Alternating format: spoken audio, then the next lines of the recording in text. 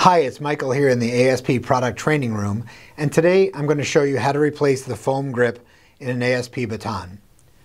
Now the foam we use in our batons is a proprietary compound that's engineered to be incredibly durable and long lasting. But like any wear item, over long-term hard use, you may find that you need to replace the grip on your baton. Doing so is easy and just requires an ASP grip kit, which has most of the parts and supplies that you need to replace grips on ASP friction and talon batons, and you'll also need some isopropyl rubbing alcohol. Here's the steps to replacing the foam grip on your baton. So the first step, take the cap off your baton, remove the shafts of the baton, and take out the retaining clip. Set the shafts aside, remove the O-ring Good time to inspect that and make sure that it's not dry or cracked. If it is, go ahead and replace that. Put the retaining clip back in place in the handle. That provides the correct amount of space for the cap when you install the new grip. Take your utility knife, make one slit down from top to bottom,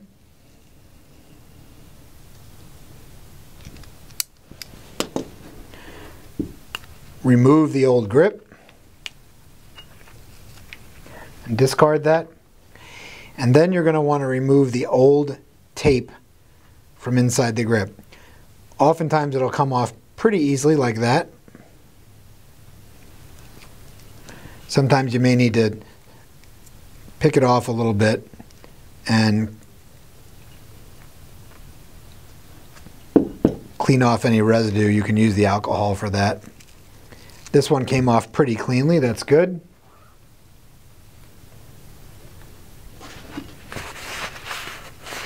Make sure it's clean. Next step is to take the double-sided tape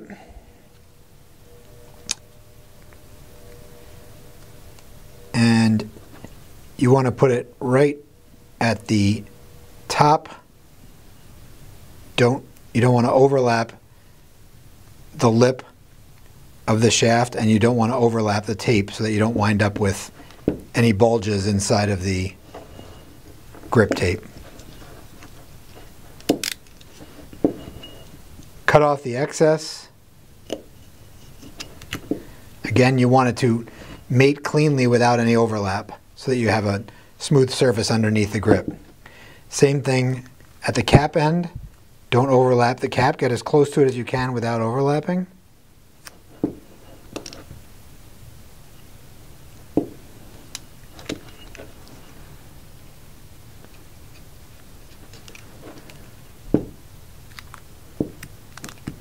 Cut it cleanly.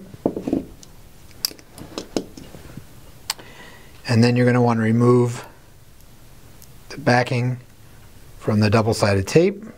So now we've got our clean surface. We've got the double-sided tape applied to the top and bottom with the backing removed.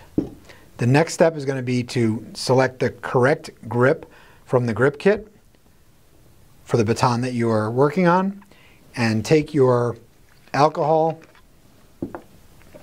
and we're going to prep both the inside of the grip with the alcohol. And what that's going to do is act as a lubricant that's going to evaporate on its own. So it just lasts long enough to perform the field service. And then you're going to want to also swab the alcohol around the tape so that the tape will be temporarily slip, slippery and allow for the new grip to slide on. Now, here's where it requires a little bit of work and patience. The grip has a wide end and a tapered end, and it should be pretty obvious. You want to make sure you're starting with the wide end, working your way down. Put that wide end over the top of the baton. This is the cap, this is the top, and you want to get it to seat. Need a little more alcohol.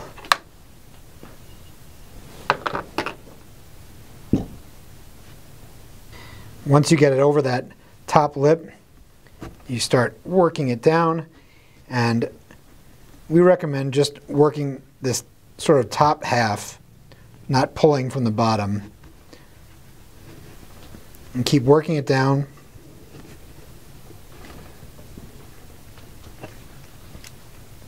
until it is in place. Same with the bottom. And just smooth it out. Make sure it seats perfectly at the cap end and the top end. That's pretty good. And then take off your cap. Put your O-ring back if you didn't do that earlier. Put your shafts back in the baton. Retaining clip back in the shafts. Cap back in place.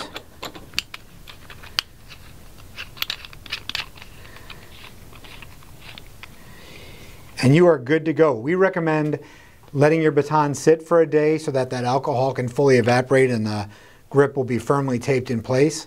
And that's all there is to it. Your baton's back in service. And I hope you found that video helpful and go out there and be safe.